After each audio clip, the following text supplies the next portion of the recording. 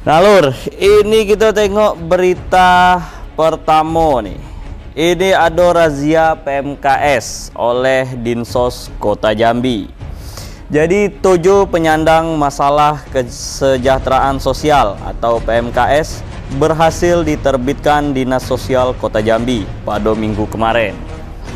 Yang terdiri dari orang dengan gangguan jiwa atau ODGJ dan juga pengamen jalanan, penjual tisu pinggir jalan serta manusia gerobak di pinggir jalan. Hah, kayak mana tuh informasi yo? Kita tengok. Ini dia.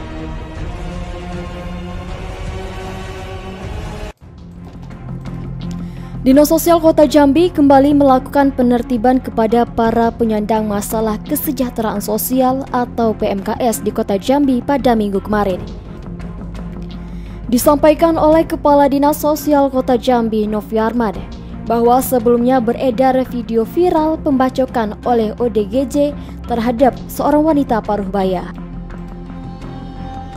yang kemudian pihaknya pada minggu siang kemarin berhasil melakukan penangkapan ODGJ tersebut bersama pihak kepolisian setempat.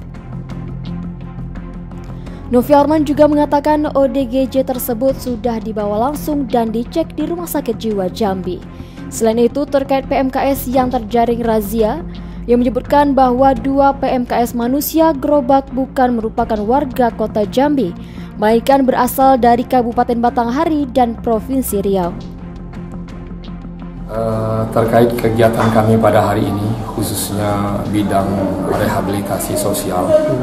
Kalau pagi tadi jam 11 waktu Indonesia Barat, kami menerima uh, tangkapan dari pihak Polsek Jambi Timur uh, adanya ODGJ yang melukai pedagang kaki lima dan ODGJ tersebut sudah kami uh, rujuk ke rumah sakit jiwa.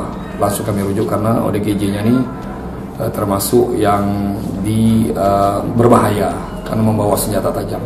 Oleh karena itu melalui Pak Kabit Bidang Rehabilitasi Sosial bersama tim TRC langsung dirujuk ke rumah sakit jiwa. Heru Syaputra, Cek TV melaporkan.